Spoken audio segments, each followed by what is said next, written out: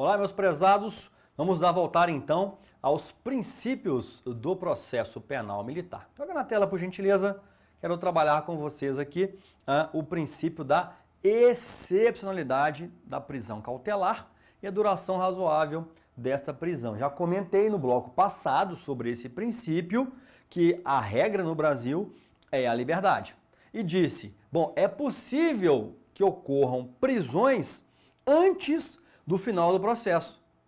Não é verdade? E citei aqui três formas de se realizar a prisão: as chamadas prisões cautelares, as chamadas prisões ou prisão pré-cautelar e também a prisão administrativa.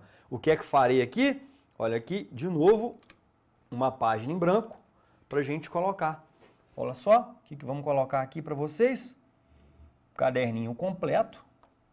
Nós temos aqui as prisões cautelares, a prisão pré-cautelar e as prisões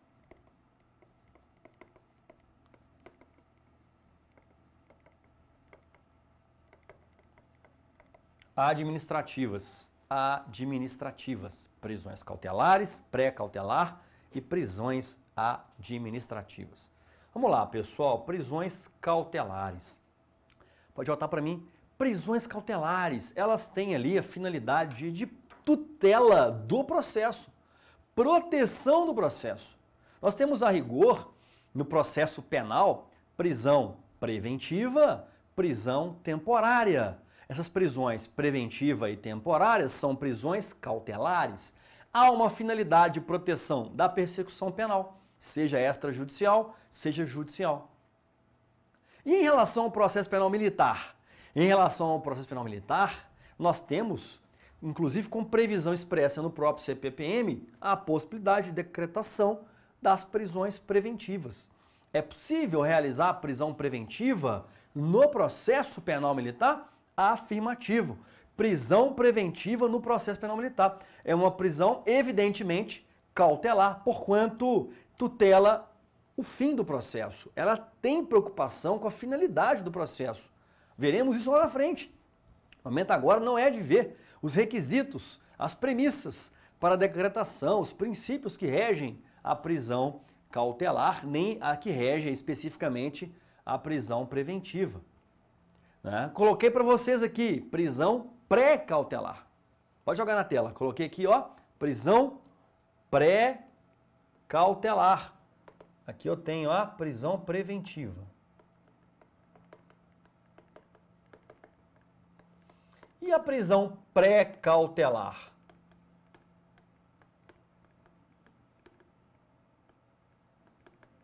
Prisão em flagrante. De acordo com, pode jogar para mim, Auri Lopes Júnior, a prisão em flagrante seria uma prisão mesmo pré-cautelar, que antecede a cautelaridade da persecução penal. É uma posição muito inteligente no meu sentido, eu entendo que nesse aspecto, o professor Auri Lopes Júnior, que é doutor pela Complutense de Madrid, que é um autor gaúcho, tem razão.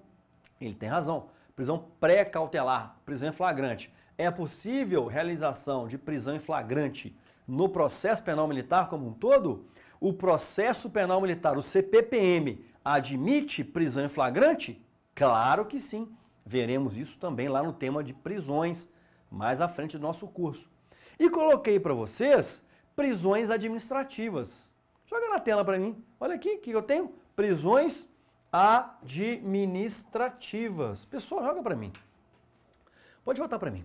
O que, que, acontece aqui no direito brasileiro? Né? Você está, às vezes, na faculdade, saiu recentemente, ou não, depende, cada um tem sua história de vida, mas às vezes na faculdade, o professor de processo penal fala o seguinte: no Brasil, acabaram as chamadas prisões administrativas. Diria eu, mentira! Que mentira deslavada! Acabaram coisa alguma. Por que acabaram coisa alguma? Porque elas estão reconhecidas na própria Constituição da República, meu Deus. É a Constituição da República que se excepciona e garante a possibilidade de prisão administrativa no Brasil. Então, que história é essa de que acabaram as prisões administrativas? Ora, acabaram nada. Elas não são viáveis juridicamente no processo penal comum. Isso é uma coisa. Agora, dizer daí que acabaram as prisões administrativas no ordenamento jurídico brasileiro, isto não condiz com a verdade. Se nós formos, se você abrir agora, nós formos aqui para o artigo 5 inciso 61 da Constituição, veja, estamos aqui em direitos e garantias fundamentais. Cláusula pétrea na Constituição da República e, portanto, imutável. Ou melhor dizendo, não dá para restringir cláusulas pétreas. Vejam, o que nós temos? A possibilidade jurídica de prisão administrativa. Pessoal, vamos lá. Eu vou daqui a pouco apresentar o artigo 561 da Constituição. Me diz aí, bate pronto, prova oral, candidato. Quais as únicas formas de se prender alguém no Brasil? Vai, agora, vem, vem, responde. Vai, vai, vai agora, demora não. Responde. Prova oral, jovem. E aí? Quais as únicas formas se prender alguém no Brasil? Você não quer ser polícia? Ou se já é, não quer ser um oficial? Quer ser um oficial da PM? Responde, rápido. Primeira, pessoal, vamos lá, tranquila. Ordem judicial. Ordem judicial. Prisão decorrente de ordem judicial. Esta ordem judicial, ou ela é emanada após o final do processo, em razão do trânsito em julgado, e portanto vamos cumprir uma prisão pena, ou ela é emanada no meio do processo, ou mesmo na persecução penal extrajudicial, com as chamadas prisões cautelares. Mas notem os senhores que todas essas são auridas de uma decisão judicial. Por ordem de juiz, por mandado. Quem manda é o juiz, manda prender por ordem do juiz. Beleza? Artigo 561 da Constituição. Segunda forma de se prender alguém no Brasil, vai lá. Prisão em flagrante, inclusive qualquer do povo pode prender. Qualquer do povo pode prender. As autoridades policiais devem prender e agora vem só um, uma cereja do bolo, um detalhe. Em relação aqui ao direito processual penal militar, as autoridades militares devem prender, mas em qualquer crime? Bom, se for o policial militar, sim. Policial militar deve prender? Deve. Está praticando alguém, está praticando um crime na rua, ele vai lá e prende. Ele tem esse poder de polícia para isso faz a detenção, depois ele vai conduzir para a autoridade policial que vai tomar a decisão jurídica. Enfim, agora veja, e o militar da União deve prender quem esteja praticando crime na rua? Resposta: não. Não. Então tá lá um soldado da aeronáutica, tá no ônibus, certo? Desembarcou do ônibus, entrou num ponto de ônibus para guardar um outro ônibus. Vem aí um crime sendo praticado. Ele tem que agir? Soldado da FAB? Recruta da FAB? já é militar. Então, que história é essa que os militares devem empreender? Aqui vem a doutrina, e aqui cito o professor Cláudio Miguel, e vai dizer que deve prender nos crimes militares. Então, os militares da União devem prender, sim, mas devem prender nos crimes militares. Porque eu, como tenente da FAB, estava na ativa até recentemente, praticando um, alguém pratica um crime na rua. Eu não tinha obrigatoriedade legal de prender ninguém. Ninguém. Se fosse um crime militar, aí sim. Então, essa é a interpretação consentânea, no meu entender, com o dispositivo legal. Ok? Mas a prisão em flagrante está autorizada na própria Constituição da República. E eu tenho mais outras duas formas de se prender alguém. Primeiro, primeiro, pela prática de transgressão disciplinar. O quê? A Constituição da República autoriza prender alguém, restringir a liberdade de alguém pela prática de transgressão disciplinar? Sim, percebam os senhores que é o próprio artigo 5 da Constituição, excepcionando a regra da liberdade com uma transgressão disciplinar, sim, mas o regulamento disciplinar da PMMG não admite. Nas PMs do Brasil não podem mais, mas nas Forças Armadas é possível. Eu já aprendi vários. como tenente da FAB. Vários, incontáveis, nem lembro mais. De tanta gente que eu prendi na FAB. Como delegado também, agora nem lembro mais. Eu estou prendendo tanto que eu não estou nem lembrando mais quem, quem, que a gente prende, né? Bandidos lembra da gente. A gente aqui não sabe quem prendeu mais, de tanta gente que a gente prende. Mas agora veja, a própria Constituição. Peraí, que prisão que é essa? O juiz deu ordem para prender? Não. É prisão em flagrante? Não. É cautelar? Você está acautelando o processo penal? Não. É pré-cautelar? É flagrante? Não. E que tipo de prisão é essa? Doutores, prisão administrativa. Prisão administrativa reconhecida, autorizada e legitimada pela própria Carta Constitucional. Ou melhor dizendo, tecnicamente, pela Constituição Democrática do Brasil. Transgressão disciplinar. E qual é a quarta forma de se prender no Brasil? Pela prática de crime militar próprio. Pela prática de crime militar próprio. Hã? Peraí.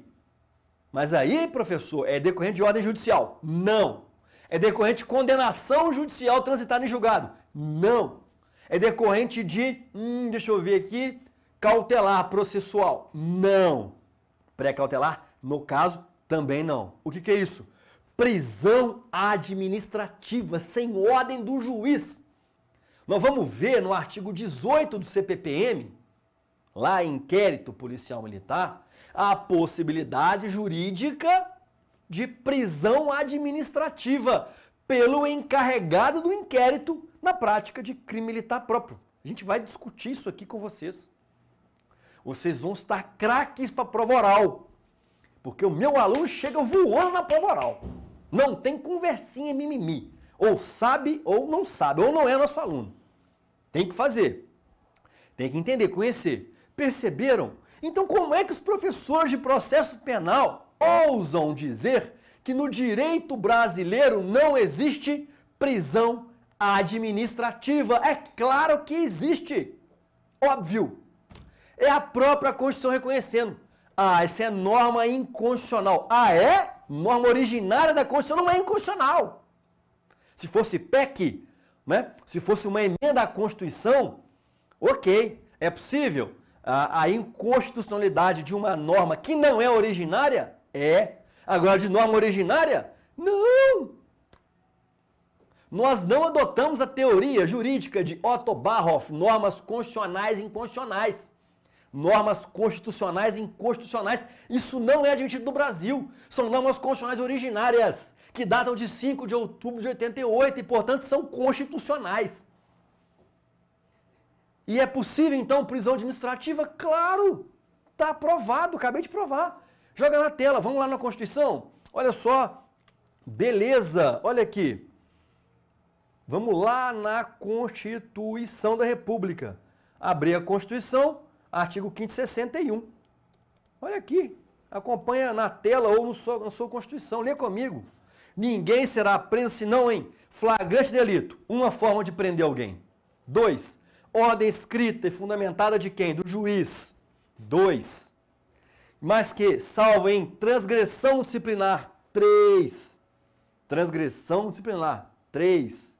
E por fim, pela prática de crime propriamente militar. Nós estudamos as classificações de crimes militares lá em direito penal militar. Perceba a Constituição, ela mesmo estabelecendo uma exceção, ela se excepcionando e admitindo prisão, veja, prisão administrativa, transgressão militar ou crime propriamente militar. Professor, eu posso prender dentro do inquérito policial militar alguém sem ordem do juiz? Sim. Eu posso fazer a chamada, pode voltar para mim? Detenção, pode voltar para mim? Detenção do indiciado detenção do indiciado lá no artigo 18 do CPP. E ele encontra guarita na Constituição da República. E, portanto, faremos uma interpretação para salvar o dispositivo do 18, que é constitucional. Ou melhor dizendo, foi recepcionado pela Constituição da República. Vê se percebe. Então, quando você estiver lendo um livro de processo penal comum, estiver lá, No ordenamento jurídico brasileiro, acabaram-se as chamadas prisões administrativas. Eles colocam assim: acabou a chamada prisão para averiguação. Lembra disso? Né? Isso é regra, hein? Regra em tudo quanto é doutrina aí. O que, que você faz? Hum, tem um maluco lá, professor Ladeira, o que, que ele me lembrou? Você faz um asterisco lá. Né? Pega seu caderno e anota no livro. Opa! Isto não é uma verdade. A prisão administrativa não existe, é verdade, no processo penal comum. Mas aqui, combatente, nós estamos pisando em outro cenário e percebam constitucional. Então, na sua prova oral, se a banca vier com conversa de prisão administrativa, manda esta para a banca. Já manda esta para a banca, passe na prova, seja feliz e me convide para o churrasco de aprovação e para o espadim. Estaremos lá no seu espadim. Tudo bem? Tranquilo? Volta para a tela, toma uma água, respira, porque eu vou voltar para o slide. E aqui, o que, que nós temos? Prisões administrativas. Quem é que admite? O próprio artigo 5 inciso 61 da Constituição da República Federativa do Brasil, você vai encontrar também prisão administrativa.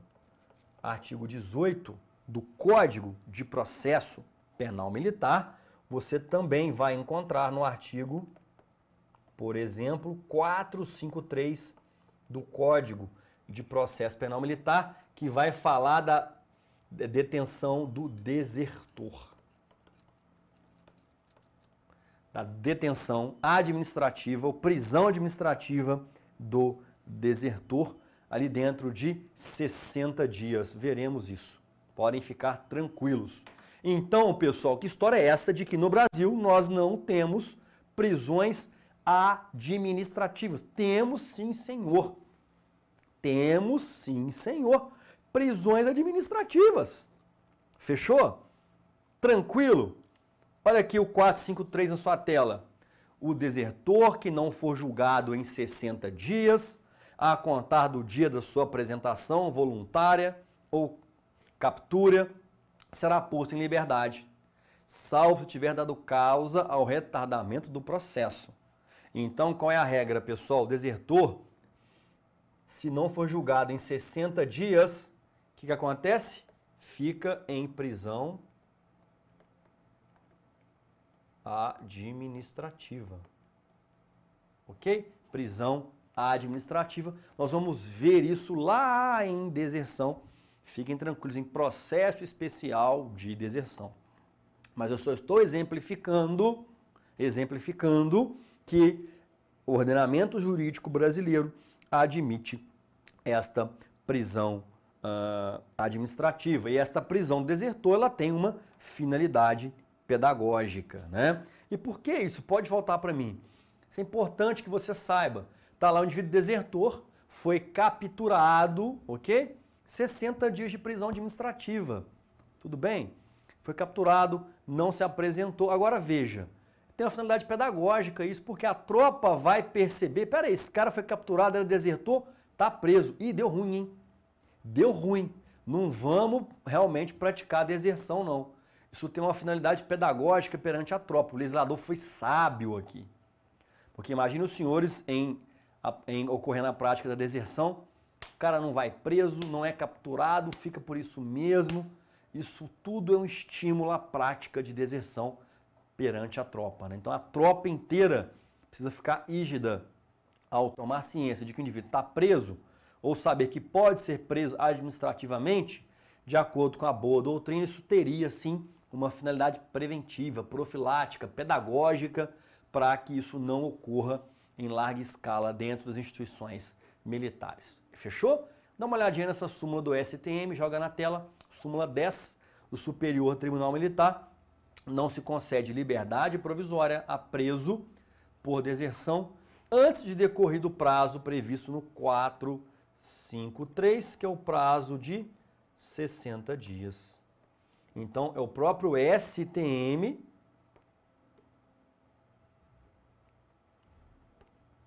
é o próprio STM, estabelecendo o regramento jurídico, validando o 453. Validando o 453. Ah, professor, isso aqui não foi recepcionado pela Constituição. Ah, para. Vai fazer prova para outro concurso. Que é, que é militar, brother. Não tem essa não. Claro que foi recepcionado. Para. Tem que ficar preso mesmo 60 dias. Tá? Tem que ficar preso. Até a denúncia, claro. Se a denúncia for antes, ok. Mas tem que ficar, tá, pessoal? Isso aqui é muito importante. E esta prisão, o que, que nós temos? Ela é administrativa. E por quê? Porque ela independe de ordem judicial. Independe de ordem judicial. Ela independe de ordem judicial. Tudo bem, pessoal? Tranquilo? Para finalizar, vamos lá aqui. Olha só, é, um julgado STF. Vamos lá. Ilegitimidade da decretação da prisão meramente processual com apoio tão somente no artigo 453. Ok? Na verdade, o que nós temos aqui? Ó, crime militar de deserção, está falando em prisão cautelar, utilização de critérios incompatíveis com a jurisprudência do STF, a denegação ao paciente do direito de estar em liberdade depende, para legitimar-se, da ocorrência concreta das hipóteses do 312. E aí, eu começo a dar risada. Olha aqui. Vamos continuar a leitura, eu venho falar desse julgado, tá? Ou seja, ele está falando do crime militar de deserção e vem colocar aqui 312 do CPP comum, tá? Isso aqui o que, que é? Isso aqui são os requisitos da prisão preventiva.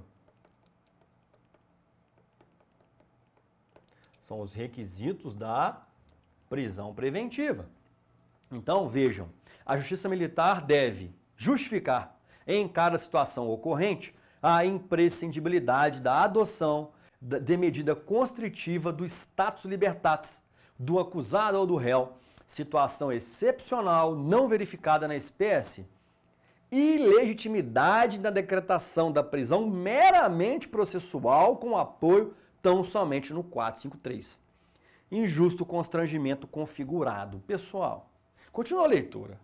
O Supremo está muito equivocado aqui, mas continua. A prisão processual prevista no dispositivo inscrito no 453 não prescinde, ou seja, é imprescindível a demonstração da existência da situação real, necessidade apta ao Estado quando efetivamente configurada a adoção sempre excepcional dessa medida constritiva de caráter pessoal, a significar que a Justiça Militar deve justificar em cada caso concreto a impressionabilidade da medida constritiva do Estado libertado, sob pena de caracterização de ilegalidade ou abuso de poder na decretação da prisão meramente processual. Pessoal, essa decisão do Supremo é uma decisão seria joia para o mundo civil. Lindo, lindo para o CPP. Só que o Supremo se esquece que é a própria Constituição Federal de 88 que garante a possibilidade de prisão administrativa. E por razões óbvias, o 453 é recepcionado, meu Deus. Supremo Tribunal Federal aqui, nesse julgado, demonstra que não conhece nada, não conhece nada do direito castrense. Poxa, professor. Agora enrolou um pouco. Por que, que, é que eu vou defender na prova? Bom, olha para mim. Olha só o que eu vou dizer, pessoal. Calma e elegância. Veja os detalhes da decisão do Supremo. O que, que ele coloca? Coloca aqui, para você utilizar o 453 do CPPM, que é a prisão de 60 dias do desertor, você tem que ter junto com isso requisitos do 312 do CPP comum. Ah, para! Eu perco a paciência, pessoal. Eu perco a paciência. Quando é que eu posso usar regras do CPP comum? Na omissão do CPPM. Vamos ver isso no artigo 3 Eu vou te provar isso. Eu só posso utilizar regras do CPP comum na omissão específica do CPPM. O CPPM tem regras específicas de prisão cautelar, da prisão preventiva. Então o Supremo não pode julgar que o 453 não é viável juridicamente, porque o, o juiz não provou os requisitos do 312. Que mané requisito do 312? Se aqui eu tenho regras específicas do CPPM. Ou seja, pessoal, ele demonstra que ele não conhece o CPPM. Porque ele não poderia nunca fundamentar essa decisão lastreado em uma razão jurídica que não se aplica ao processo penal militar. Isso não se aplica. O 312 CPP não tem aplicação nenhuma no processo penal militar. Por quê? Porque aqui temos regras específicas sobre a prisão preventiva. E que ainda assim nada tem a ver com a prisão administrativa, porque a prisão preventiva é cautelar. A administrativa tem outra finalidade e ela é admitida pelo ordenamento jurídico brasileiro, pela Constituição. Sabe o que, que é? Esse cara que fez a decisão, que, que não deve ser o ministro, é um assessor, ele está lendo aquele livro de processo penal comum, dizendo que no Brasil não existe prisão administrativa. É isso. Você tem dúvida que essa doutrina, né, ele veio construído e ninguém desconstruiu essa ideia com ele. Essa é a realidade. E não foi nosso aluno. Ninguém desconstruiu aquele ele leu no livro de processo penal comum. Ou que o professor disse a ele. Então, calma. Professor, o que é que eu coloco na prova? Calma. Primeiro, primeiro, essa decisão do Supremo é completamente equivocada. A decisão, inclusive, de 2013, tem sete anos essa decisão. Oito, oito anos. Quase oito. É? Tiver setembro de 2013, tem sete anos, né? quase oito anos. Essa decisão, pessoal, não deve ser levada para a prova. Você leva para a prova o que é correto. O que é correto é aquilo que eu te ensinei. Onde é que está isso, professor? Você pode beber da fonte. O próprio Cícero Robson Coimbra Neves, coloca isso lá. Coloca isso lá. Então veja, pessoal, a minha opinião, cairia numa prova objetiva? Minha opinião só cairia na objetiva a redação do 453. Ok? Para discutir constitucionalidade ou não, seria o momento de uma prova oral. E aí você vai dizer em que pese precedente do STF não é jurisprudência. Isso é um precedente. Cuidado. Uma coisa é jurisprudência. Outra coisa totalmente diferente é um precedente judicial. Isso aqui o que, que é? Uma decisão. Isso é um precedente judicial. Então você na banca coloca, coloca para a banca, na oral. Em que pese existir precedente do STF no sentido de linkar, de vincular o 453 do CPPM com o 312 do CPP, esta posição não merece acolhida no ordenamento jurídico brasileiro por essas razões que eu coloquei aqui para vocês. Isso é fazer prova oral. Isso é ter coragem de chegar na frente da banca examinadora e apresentar essas questões. Volta para a tela, por gentileza, e apresentar uh, essas questões, ok? Uh, no próximo bloco, o que é que a gente vai apresentar? A gente termina princípios com o princípio da publicidade e depois a gente já ingressa no tema a aplicação da lei processual penal militar, volta para mim, a gente vai então encerrando o bloco. Quero aqui agradecer, teve dúvida, vai para a plataforma, manda direct para gente. Prazer, eu tô com muitas perguntas, respondendo aí as perguntas. Muito legal essa participação de vocês, tá? Beijo no coração de todo mundo. Próximo bloco, a gente termina a parte princípios específicos do processo penal militar e sim já ingressa em aplicação da lei processual penal militar, temos muito para ver essa maravilhosa disciplina chamada processo penal militar. Beijo no seu coração e até o próximo bloco.